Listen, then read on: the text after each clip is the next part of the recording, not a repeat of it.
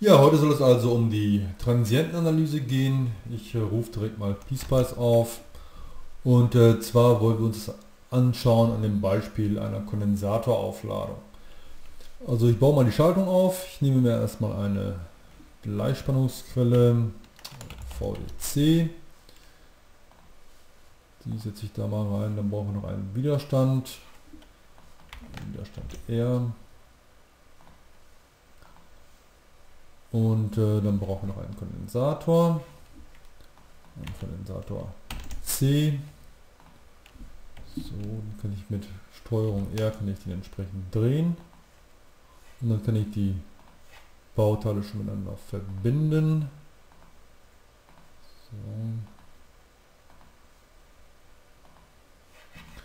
Ein Massepotenzial unten dran. Okay.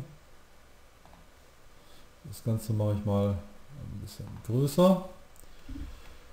So, dann kann ich noch ein paar Werte angeben. Ich nehme mal eine Spannung von ähm, 10 Volt. 10 Volt. Und äh, den Widerstand belasse ich mal auf einem Kiloohm und den Kondensator, damit man gut rechnen kann, nehme ich mal ein Millifarad. Also ich nehme ja, 1000 Mikrofarad. Okay, bei Kondensatoren kommt es darauf an, ähm, dass man die Kondensatoren äh, richtig einstellt, das heißt äh, angibt, mit welcher Spannung die Kondensatoren denn am Anfang äh, vorgespannt sein sollen. Das kann man äh, einstellen, indem man hier auf den Kondensator klickt. Und dann hat man die Möglichkeit, die ähm, Eigenschaften des Kondensators zu definieren. Zum Beispiel hätten wir hier auch direkt unsere 1000 Mikrofarad eingeben können. Ein wichtiger Punkt ist aber auch da, das Feld IC, Initial Condition, also Anfangsbedingungen. Und ähm, da müssen wir eine 0 angeben, weil wir möchten, dass der Kondensator zu Beginn entladen ist, weil sonst könnten wir uns den Ladevorgang nicht anschauen. Das liegt daran, weil PSpice normalerweise davon ausgeht, dass alle Bauelemente ihren äh, Beharrungszustand, also den Zustand einnehmen, der nach langer Zeit ange angenommen werden würde, also den Arbeitspunkt. Und der wäre bei diesem Kondensator eben die Spannung 10 Volt. Der Kondensator wäre also direkt aufgeladen. Und wir möchten uns ja den, den Ladevorgang anschauen. Das heißt, wir müssen den Kondensator zunächst einmal äh, auf 0 Volt einstellen und sehen dann letztendlich, wie der Kondensator aufgeladen wird. Okay, nun zur Transientenanalyse. Wir müssen wieder ein Simulationsprofil angeben. Ich nenne das mal Kondensator.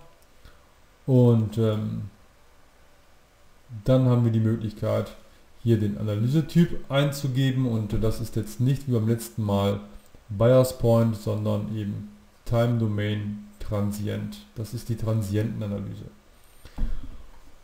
Okay, wir müssen zunächst angeben Run to Time, also wie lange soll die Simulation eigentlich laufen. Wir gucken uns dazu die Schaltung noch einmal an. Wir haben eine Aufladung eines Kondensators von 1000 Mikrofarad, also ein Millifarad über einen Widerstand mit dem Widerstandswert 1 Kiloohm und ähm, man kann dort die Ladezeitkonstante bestimmen, die kann man ausrechnen. Ein Kiloohm mal ein Millifarad ist genau eine Sekunde und man geht davon aus, dass der Kondensator ungefähr nach 5 Tau aufgeladen ist, also in diesem Fall nach ungefähr 5 Sekunden. Das heißt, wenn wir uns hier die ersten sag mal, 7 Sekunden anschauen, dann ähm, bekommen wir eigentlich ein ganz gutes Ergebnis. Ich sage hier OK und ich kann direkt angeben, was ich eigentlich sehen möchte. Dazu kann ich solche Level-Marker setzen. Ich setze hier mal so einen Marker hier oben an den Kondensator und dann wird gleich bei der Simulation auch direkt die Spannung des Kondensators angezeigt. Gut, ich glaube, ich habe nichts vergessen. Ich starte einmal die Simulation. Es wird direkt das Probe-Fenster geöffnet. Und dann nach der kurzen Rechnung wird letztendlich die Kondensatorspannung angezeigt.